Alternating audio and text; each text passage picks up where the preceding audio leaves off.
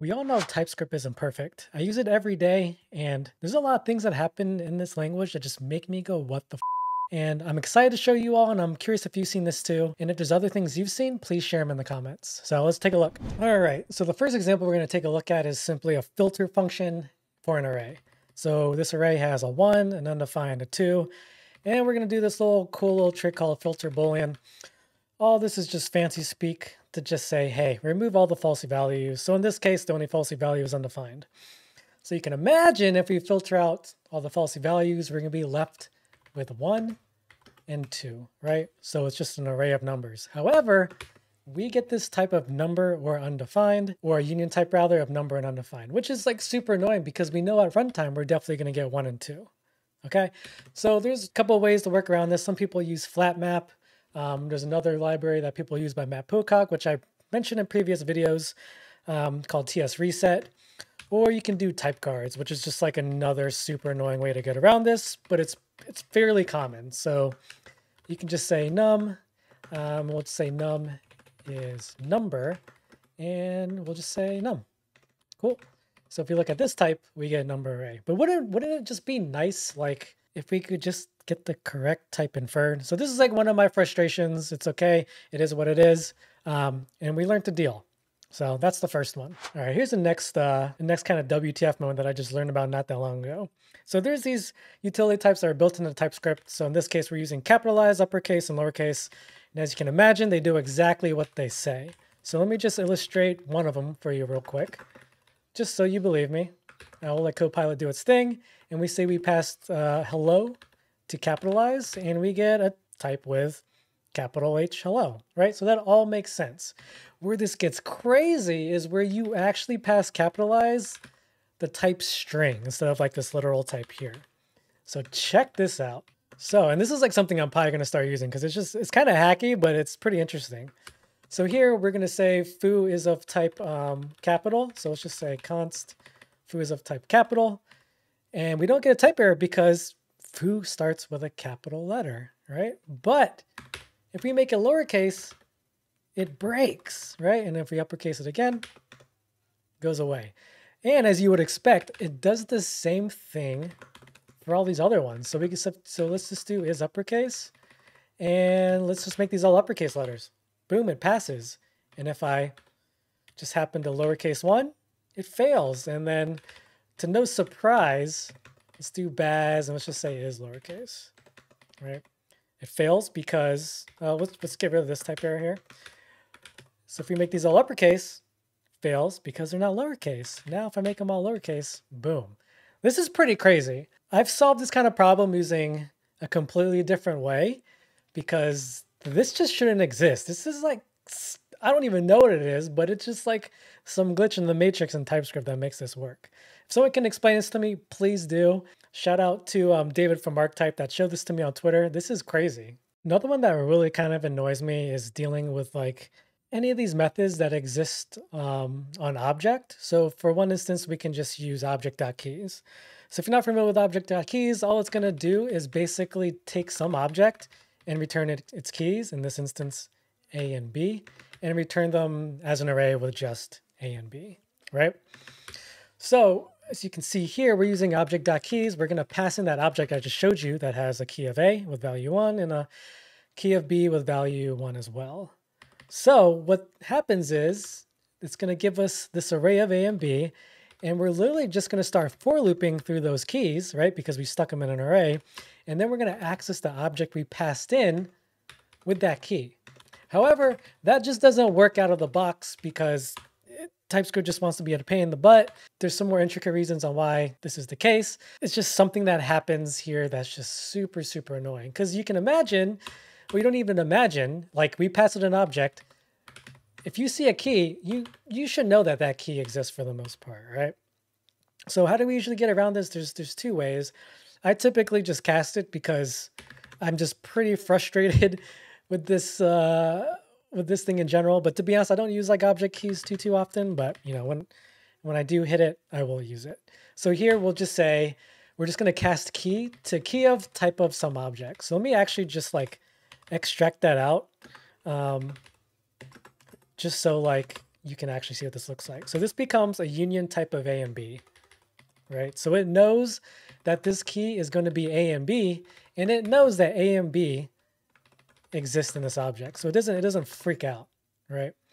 You can be a little bit more clever and you can build your own function that just uses generics, right? So in this case, you can see that we're just going to make uh, an object.keys here, right? An object.keys is just going to extract the, well, it's going to extract the type of what we pass in. So this object, t, we're going to store in the t, and then we just verify that it is an object, right? And then what we're going to say is this object keys is going to return an array of the keys that exist in T, right? So in this case, that would look like something like A and B. So if we actually just look at the type definition, we see AB here, right? So it's actually returning A and B in an array. So then when we pass it into here, into the for each, we know that it's key A or B, so it doesn't cry and lets us just get away with it. But you can just see like how just what you have to do to kind of like make these things work. You can either cast it or make your own um, function that will use generics, right? So for someone that's like not really familiar with TypeScript, you can this would probably shock you and you're gonna be like super confused and you'll probably just like, cast it to whatever you can or just bang your head against the wall. Um, but this is one thing for me that I just find like pretty annoying. So there's this thing called distributive conditional types. We'll just read the sentence right here. And all this means is when conditional types act on a generic type, they become distributive distributive when given a union type. So what does that mean? So let's take a look. So let's just assume we have type bar, uh, and it's a union type of string or number. And let's just say we want to just convert each member of this union to an array. So how would we do that? Uh, first, we have this type helper, helper that will take a generic, and this generic can be anything. The important part here is this is how we convert it to an array. So if we look at the type here, so let's just say we passed our type bar to this helper we have here, the result is going to be a union type, which is an array of strings or an array of numbers. Now we can do something really weird and not intuitive to actually stop this behavior. Um, so we can stop, uh, we can basically negate this distributed behavior by wrapping the generic in a bracket and wrapping whatever's on the end of extends in a bracket. Like already it's kind of like, what, what is this? This is just not intuitive at all. It is what it is, to be honest, at least for me at least. Um, so what's the result here when you wrap it in those brackets? Now it's no longer it's no longer going to distribute to each member of the union type. It's now just going to say, hey, this array can actually be either string and numbers. It can be either one versus it being exclusive here. It's not very intuitive at all. So let me show you another example on how you can actually cause distribution to happen. And this one's gonna kind of blow your mind. Let's kind of ignore what this type is because this part, this thing is just probably just gonna confuse you even, even more. So I'll just close that for now. Let's just say we wanna pass a union type here, in this case, three, four, and five, and we wanna create tuples um, of that length. So if you look at this one, we're going to fill it with trash. So you can see we have a union type of 3, 4, and 5. We have a tuple of three items of trash. We have another tuple with four items of trash. And we have another tuple of five items of trash, right? So that's the that's that's the distributive behavior that we're seeing on the generic, right? You see that? It's it's going through 3, 4, and 5. Now, check this out. This is what's actually causing that to happen. It's n extends n, basically the generic extending itself, which honestly is not intuitive, and you really only know about this stuff unless like you encounter it. So let's see let's see what happens if we actually remove this nonsense here. And we're just going to say this tuple me type helper, I want you to just do the exact same thing I showed you, and let's see see if it works out. It's actually not. Now we see we just have three items of trash because it's no longer distributing across the union type. It just sees three and it doesn't even go any further, right? So if we bring it back, we want to, we actually want three tuples of three, four, and five, or length three, four, and five. And that's how you make that happen. And if you're just curious what this is, this is just basically saying, hey, give me some length and I'm going to use accumulator. And when the accumulator match or the length of my accumulator matches the number I passed in. So, so for example, if I pass in three, I want it to short circuit once the length of this array is three, right? And then once those match, go back and we return it. And that's how that happens. Again, that's not very too important. That's not very important to this, what I'm trying to show you. What I'm trying to show you is like, what, what is this? Like, why does this work? I'm sure someone smarter than me can explain it. I just know that when things aren't distributing, I can force it with something like this. There's a couple other use cases to make to force distribution. Um, I'm not going to go over those here, but here's just like some some wacko, or here's a wacky example to kind of explain that. Crazy, right? All right, I got another one that's pretty WTF. So let's just do type WTF in the spirit of this uh, YouTube video, and let's just say trash, or I don't know. This is what Copilot wants to give me. That's fine, whatever. I don't know what that means, but yeah. And let's do this, right? Now we can say const WTF, WTF, right? So the cool thing here is look at the autocomplete. We get autocomplete for trash, WTF, WTH, and what? But we can also put any string we want. Isn't that wild? So the cool thing is we get the autocomplete of like, I guess, potential recommended values. Um, but at the same time, we can enter any string and it's valid. So that's pretty cool. Um, this actually works with numbers as well. So you can actually do like one, and then you can say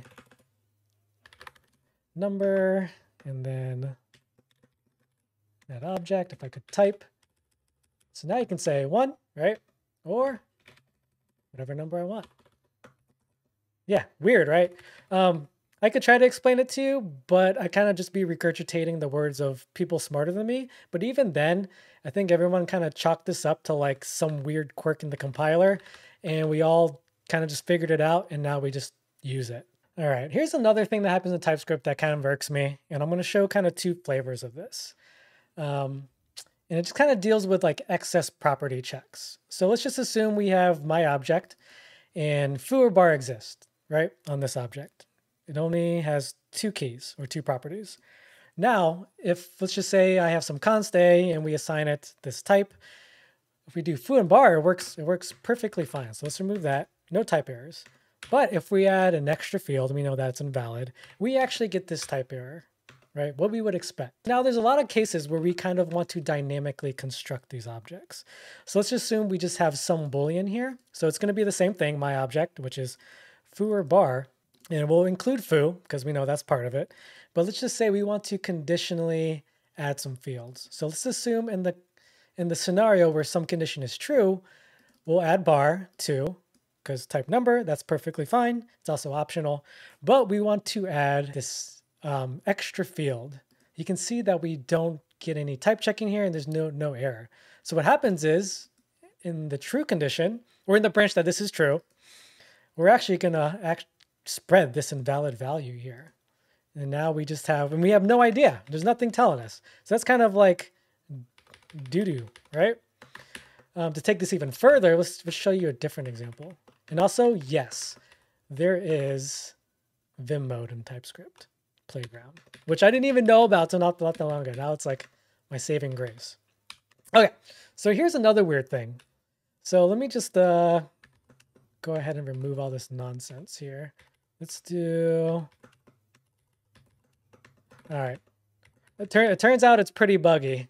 So maybe maybe you shouldn't use Vim mode. It actually is not that great. So we have a function that takes an argument of type trash. And the only thing in type trash is a property of its trash is trash and it's a boolean, right?